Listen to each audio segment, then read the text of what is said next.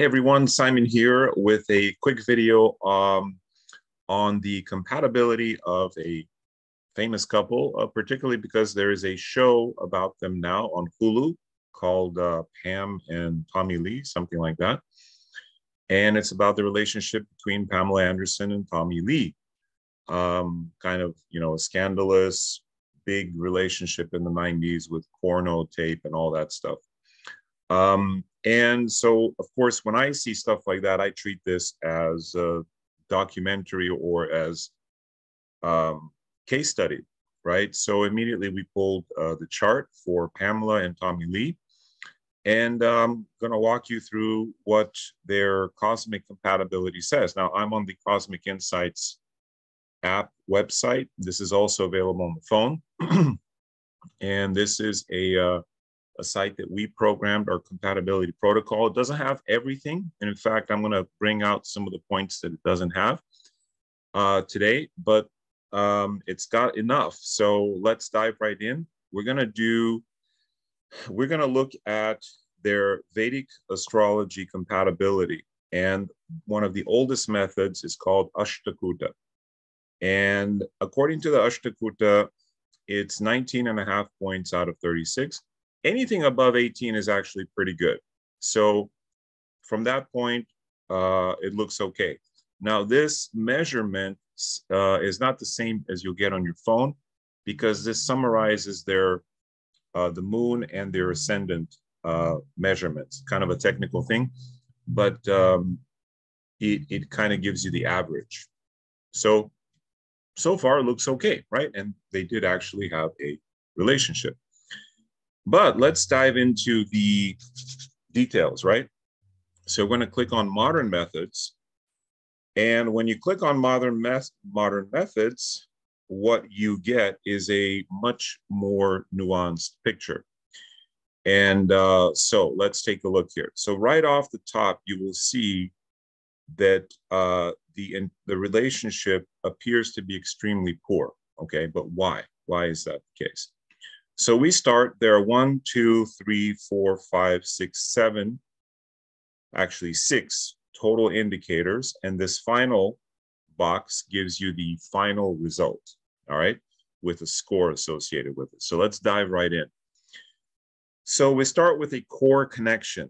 Core connection is how you get along on a your personalities, right? On an emotional level, how you can talk to each other and so forth. And this says very bad, minus 9.5 out of 30.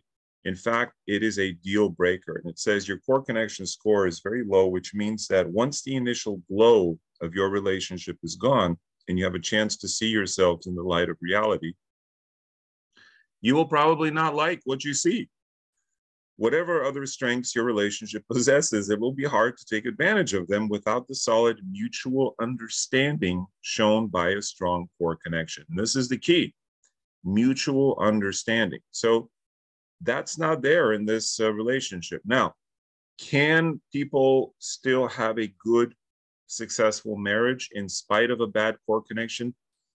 It's possible, but everything else has to be good, right?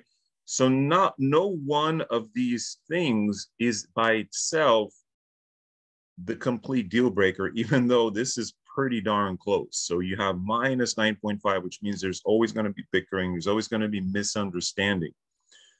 Uh, from an astrological standpoint, you can look into it. The suns are square, the moons are six, eight to each other, or called inconjunct. That's not really an aspect. The Venuses are bad, the ascendants are okay uh, and the ruler of the ascendants, not great. So overall, not a great score. So why were they so passionate and in love with each other? Well, let's keep going. Soulmate indicators. Now, soulmate indicators are connections that show like a twin flame, a soul affinity that's kind of a positive, it's a positive thing. It's different from karmic glue, which is whether you like it or not, you're drawn to each other, right? Soulmate indicator is just that. It shows, in fact, uh, let's see what it says. Compiling factors measured by modern psychologists like Jung and others As well as ancient astrologers, your soulmate indicators reveal a psychological affinity that is different from your core connection. This applies to romantic couples as well as friends and family. Core connection operates at all times and is evident from the beginning, but soulmate indicators add a depth of affinity that's hard to judge. It's that kind of, you know, oh, you guys look so different. He's seven feet tall, she's five feet tall. Uh, you know, he's from this country, she's from that. What do you guys have in common? If there's a soulmate affinity, it doesn't matter what you know you look like or where you're from. Uh, but anyhow, um, that's also low right? So we don't have a soul connection either. So what's going on here? Let's keep going. Hidden strengths and weaknesses. Ah, here we have a, uh, a hidden source of support. Um, this score assesses Jupiter's and Saturn's effect on the relationship. So this means they're generally genuinely going to try to help each other um, with their career, with their appearance, they have good intentions toward towards each other. So this is a good basis for a friendship. This is a good basis for you kind of want the other person to succeed. You want them to do well in life. Um, so that's great. They have this. Is this enough to prop up a relationship? No, right? This is enough for, hey, you need to go to rehab and I'm going to do what I can to help you get better. Or, hey, you know, you want this job i'm going to go talk to your boss. I'm going to help you in whatever way i can right? You want to help the other person but this isn't necessarily about a deep love connection per se even though um, the sweet vibes are definitely there uh, 16 and a half with a lot of mutual jupiter aspects okay? So that's good. That that sheds some light on why they like and want to help each other, have a kind of friendliness. Next, karmic glue. Now, there is some stickiness here, definitely some karmic glue going on. And I think this is a good part of the reason for them being together. Um, some stickiness means that there are definitely some strong karmic aspects. And even though it's the score isn't 70, um, when, when a score is that strong, like 70, you don't want that that means whether you want to or not, you can't split up. Like it's hard to get unstuck, right? So in this case, there's definitely stickiness. Something is attracting them. The DNA of his ancestors and DNA, or they wanted to get together, right? It's a sexual connection. It's a, but it's more than that. It's a karmic connection. Um, all right, let's go to the next one. Who am I to you? This measures um, how each person helps the other in the world. And again, it's not good. Um, uh, what if you have great compatibility, but you're not really attracted to a person for marriage? How what how can we tell if a relationship is friendship, dating, marriage, etc.? What are the houses in the horoscope that are lit up? So for this relationship, right away you see the fifth house. Fifth house is the house of fun, sex, partying, having, but also children, right? The play center, fun and games, sport, adventure, creativity, all that good stuff. But also the sixth house. This is actually not uh, that desirable unless you're helping each other with work. Then the second house, the 12th house of self-indulgence, uh, you know, getting on a boat and sailing. Uh, Richard Burton and Elizabeth Taylor have a lot of this, like wanting to leave the world, to you know, to get away from it all.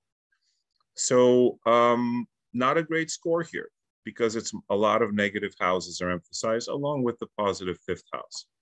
So who am I to you is also kind of how the, the world sees you.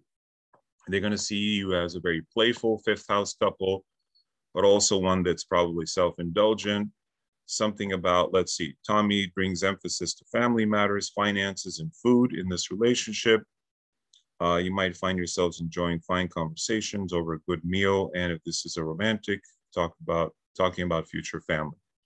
So cooking together, that kind of stuff. Anyway, um, that's who am I to you. And let's then let's keep going. Uh, danger breakup. Ah, there is a deal breaker he here. Rough weather ahead. There's potential for some storms on the horizon, which may lead to arguments and possible breakups. Now, here's the thing this is the second deal breaker in this relationship. If the first one got us to the edge, this one tips us over. No, no doubt. The, the reason is um, you want more good things. You want relationships to be more easy than they are hard, right? Every relationship is going to have difficulties.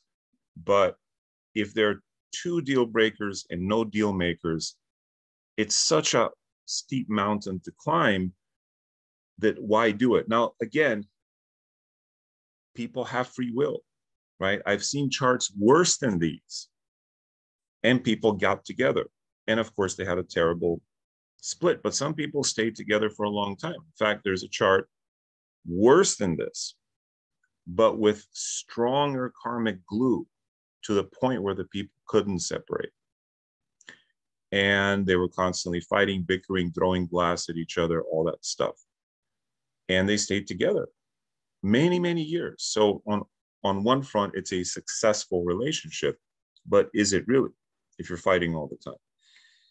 So this is the second deal breaker. That's bad news. Rough weather ahead.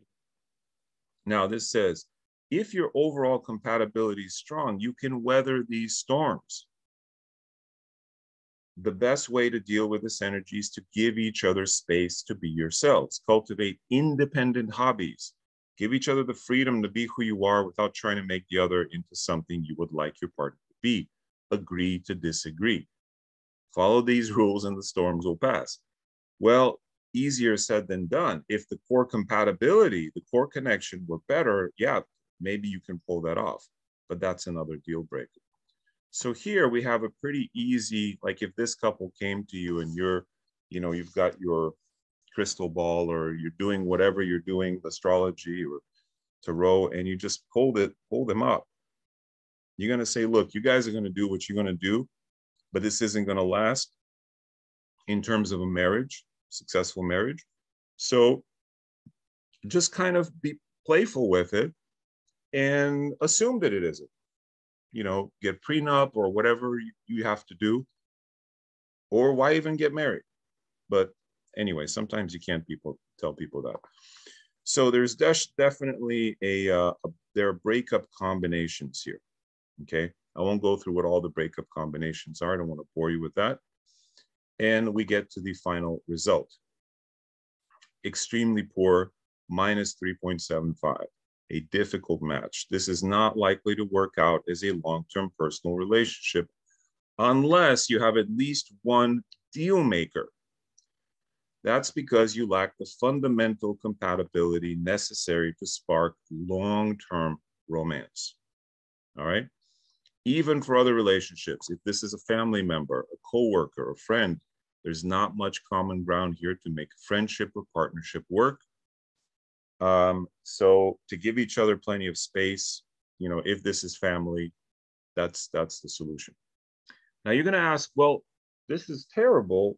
How is it that they have two kids together? You know, they were happy and in love for a portion of it. For that, we're going to go into the charts. All right, so follow me there. It's not a long trip. There we are. Here is the chart of Pamela, and uh, I pulled up the chart of Tommy Lee. Now, we do not have a precise birth time for him, and I apologize, I'm using the North Indian charts, but it's simply to illustrate a very uh, basic point that actually will probably be more easily illustrated with the South Indian chart. Uh, but I this is what I use. So just follow me here. I think you'll be able to see it. In a previous video on soulmate combinations, how to know he's the one or she's the one, I told you about a combo where you look at the woman's Mars, which is what her idea of masculinity is. When the man's sun is on the woman's Mars. She sees that man as her ideal masculine. Like, that's it. That's the man I want. And that is what we have here. This is a chart of Tommy Lee.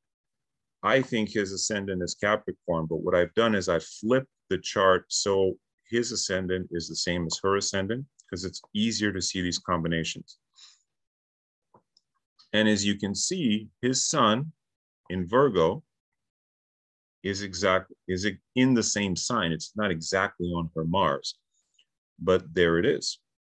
Right? That is a one of those soulmate combination. I told you about five soulmate combos in a previous video. There it is. Now, this is not programmed into the Cosmic Compatibility app. So what um,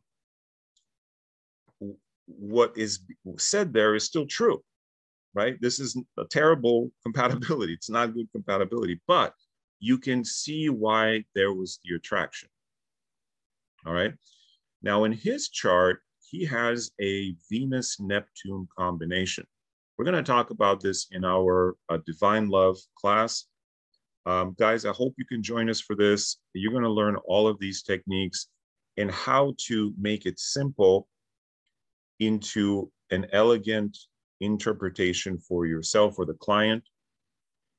And not only to judge compatibility, but to see what are the issues and the baggage that people are bringing into the relationship.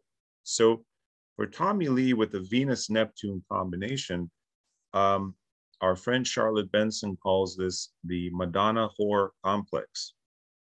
Madonna here doesn't refer to the entertainer, it refers to the mother of Christ, meaning the woman who is of utmost virtue, the virgin. So when Venus and Neptune are together in the same sign, you will be attracted to a partner who at the same time represents purity and pure love, as well as carnality and sex in the same package. And that's what you're looking for. So for Tommy, he wanted someone who was an angel on the outside and a devil on the inside, right? uh, or an angel and a devil at the same time. That is the Venus Neptune combination, and it's uh, reinforced by being in um, Libra, which makes Venus particularly strong. And it's further influenced by Jupiter, Mars, and Saturn, which means this is a focal, focal combination for his chart. Okay. Uh, again, we're going to get into what each of these combos mean. Like this Saturn Ketu in his ascendant, I think that's his ascendant Capricorn. It really tells you a lot about the character of the person. Um, but this combo is sort of the projection that he brings into every relationship. He wants his partner to be a saint and a sinner, to be utterly physically beautiful, but also spiritually enlightened kind of a, a, a trip to lay on any one person, right? Um, so, and, and, there's more to it than this, but I'm going to leave it, uh, you know, at that here. So that's the the preconceived notion he's coming into uh, into this world with. Uh, she's coming into it uh, with uh, other notions, um, a bit like a deer in the headlights. Uh, she has Mriga rising, which is the deer, and Mriga people tend to get stalked. I talked about this in my video on Mrigashiras, um, or Mrigashira, or Mrigashirsham, Shirsha, rather. Um, there are different ways to say the word head in Sanskrit. You can say it Shiraha or Shirsham, and it just means head. So Mriga Shira is the head of the deer. She has that as her ascendant. And I talked about how this can be a problem for being stalked, particularly because Saturn's aspect is also on it. So um, I, that has nothing to do with this relationship. Although, come to think of it, he did kind of stalk her in the beginning, uh, according to to the show. Um, he, you know, he followed her to Cancun and so forth to meet her there.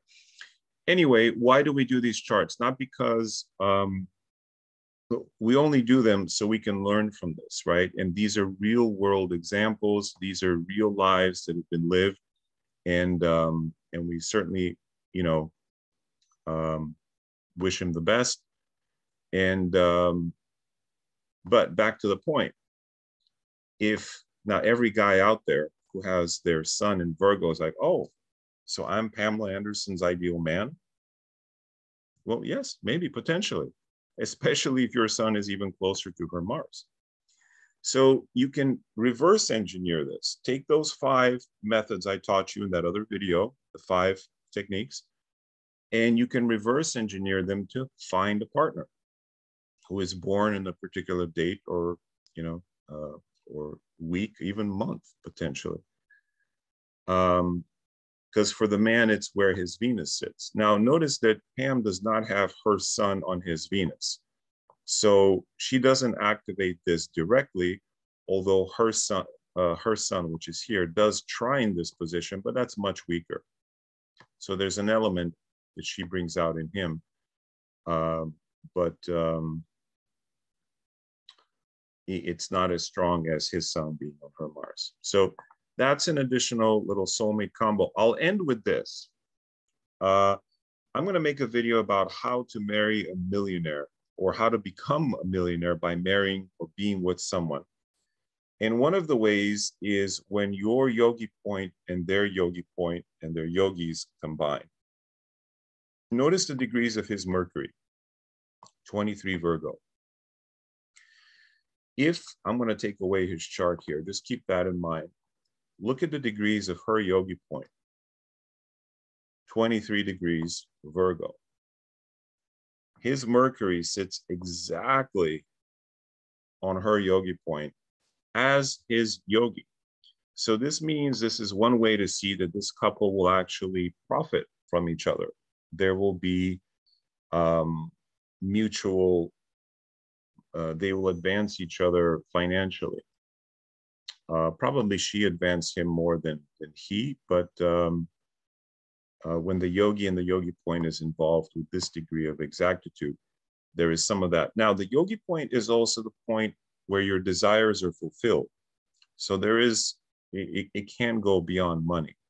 Uh, but we'll look at that in, uh, in another video. All right, I hope this was useful to you guys. Uh, just a quick look at compatibility, how to use the Cosmic Insights app. There's a, you can get this, use my code to save 20% on it if you don't have it, code Simon. And uh, do come join us for our live class. Um, details are below, and uh, we'll see you in the next one. All right, thank you everyone. Namaste.